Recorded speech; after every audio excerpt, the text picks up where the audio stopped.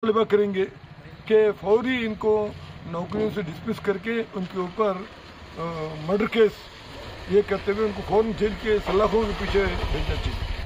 हमारा यही है कि इनको, इनके ख़ानदान को जो है ना, जो एक्सग्रेशिया जो दिए हैं नॉमिनल वो नहीं हो सकता। कम से कम पचास लाख तो कम से कम देना चाहिए उर्सा को। और दूसरा जो है ना, ये सर्किल इंस्पेक्टर सब इंस्पेक्टर जो कांस्टेबल्स जो इसमें रास्त मुलविस हैं उनको नौकरी से डिसमिस करके उनके ऊपर ये three not two case, murder case करते हुए उनको जेल की सलाखों के पीछे भेजना चाहिए। ये हमारा मुतालबा है।